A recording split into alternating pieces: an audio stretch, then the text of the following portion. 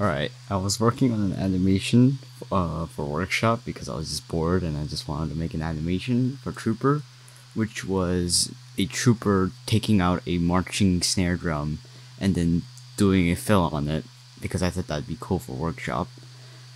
So I did that and I tried to change the FPS of the animation to 100 from 60 to 100 because it will be easier to sync the audio with the animation that way. And then Moon Animator decided to fucking die. Uh, I do have a recording of it. You guys can see it if you want. Here we go. And here's the fill that I was originally gonna put over the animation.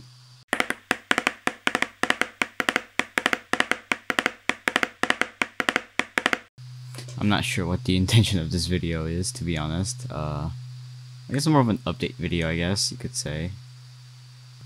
I do still have some video ideas coming up. I just, I was gonna, I was gonna post this on YouTube, but I, I guess not. Bye.